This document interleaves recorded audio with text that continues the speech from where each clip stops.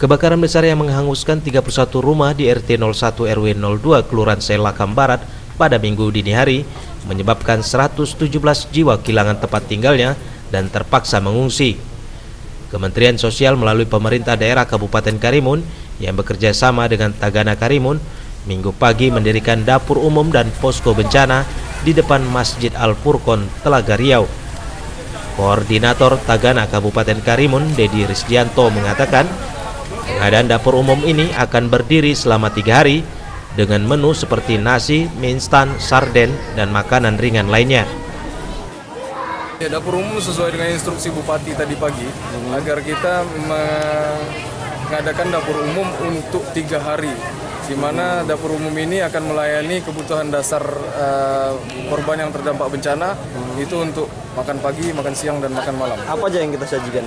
Yang disajikan sesuai dengan menu yang sudah ada, kemudian sesuai dengan barang-barang yang logistik yang tersedia, di mana yang barang logistik tersedia ada.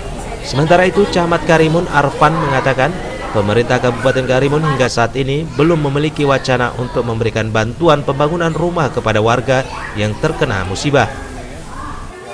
Hmm, kemudian uh, informasi dari Pak Bupati sendiri bahwasanya belum ada wacana untuk pembangunan memberikan pembangunan kepada uh, yang tertimpa musibah ini. Dugaan sementara penyebab terjadinya kebakaran tersebut berasal dari salah satu rumah warga yang mengalami korsleting arus pendek listrik. Iwan Mohan Amibagan, tim iNews, melaporkan.